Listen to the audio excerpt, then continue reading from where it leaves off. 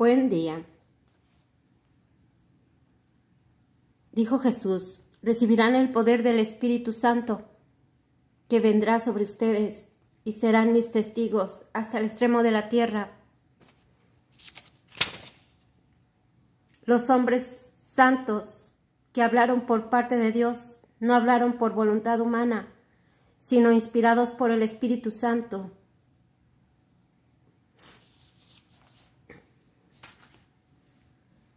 Quinto día. El Creador, el Redentor, el Santificador. ¿Habías oído de alguien que ha creado o ha reclamado el haber creado un alma, tal como tu Padre en el cielo lo ha hecho para ti, y millones y millones de veces más? ¿Has oído de alguna criatura que haya pagado el precio por un alma en pecado? Y que le haya ganado la salvación como lo hizo Jesús para ti y millones de otros? Soy el Espíritu Santo, la tercera persona de la Trinidad, así como nadie más que el Padre tiene el poder para crear de nada a un alma y nadie más que el Hijo tiene el poder de pagar el gran precio por la salvación. Nadie más que yo, el Espíritu Santo, tiene el poder de santificarte. Hijo mío, nadie más puede explicar, enseñar o darte mis dones de conocimiento, entendimiento, consejo, sabiduría, fortaleza, piedad y temor al Señor. Solamente yo puedo santificarte y hacerte digno de entrar al cielo. Cuando tú aceptas estos dones, te recompensaré con paz, alegría, gozo en, en, esta vida y en la próxima.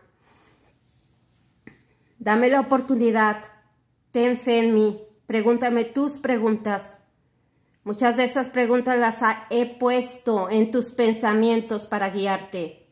Sigue meditando en estas preguntas hasta que yo te dé las respuestas. Demuéstrame tu fe. No te des por vencido. Pídame mi don de fortaleza.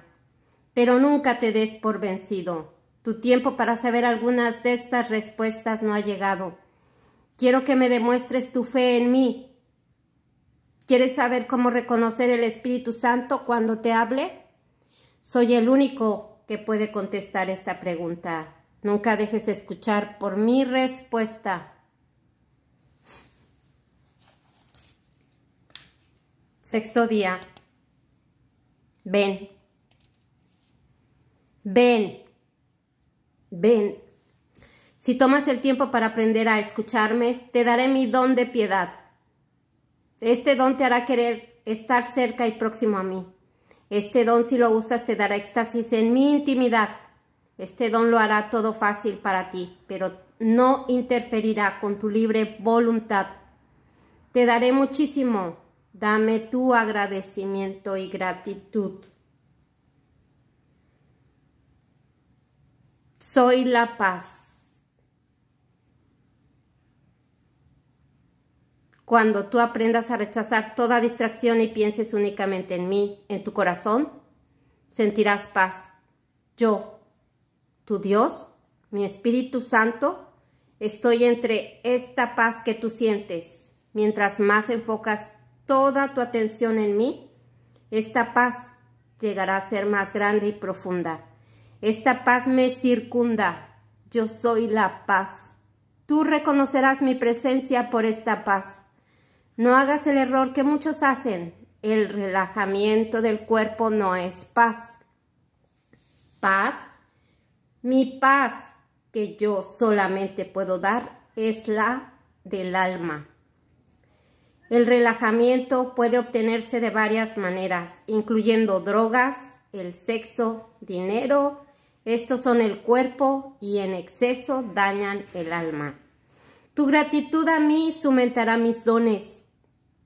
A ti, tal como tú das, como a los que te aprecian. Fin del sexto día.